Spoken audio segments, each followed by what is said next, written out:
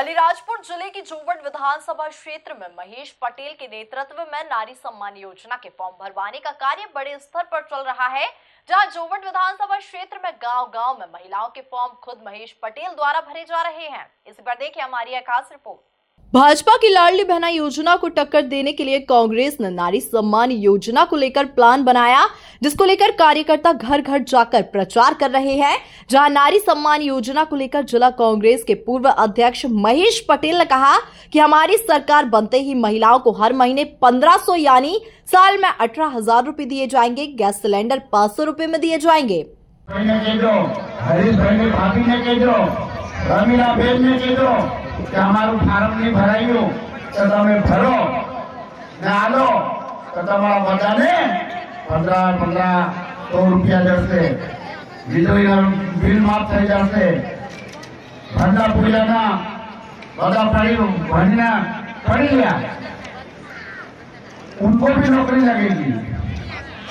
सब लगेगा लेकिन अपन को यहाँ से कांग्रेस को जिता के कमलनाथ को विधायक देना और कमलनाथ जी मुख्यमंत्री बनेंगे और आप लोगों को पंद्रह सौ रूपये जिस रोज अपनी सरकार बनेगी मेरी कैबिनेट में पैसे मिलेंगे राहुल गांधी प्रियंका गांधी ने वादा किया आज अपने पंद्रह दिन पहले सरकार बनी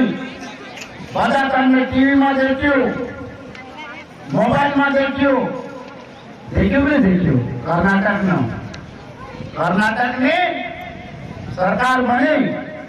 રાહુલ ગાંધી સોનિયા ગાંધી પ્રિયંકા ગાંધી કમલનાથ બધા ગયા મુખ્યમંત્રી બનાવ્યો પેલી કેબિનેટમાં જ પૈસા ના ચાલુ કરી દીધું બધાના લેવા કર્ણાટકમાં એવી આપણી સરકાર બનશે તો તમારા પંદરસો રૂપિયા और पाँच सौ रुपया में गेटना बाटला से आज अपनी राजस्थान में सरकार वहाँ भी पाँच पाँच सौ रुपया फ्री कर देते वहीं हम आपको बता दें कि अलीराजपुर नगर में 9 मई से नारी सम्मान योजना के फॉर्म भरने का कार्य शुरू हुआ था और 23 मई तक करीब 15 से 16 हज़ार फॉर्म सिर्फ़ जोवट विधानसभा से ही भरे जा चुके थे। Bureau report, MP news, Alirajpur.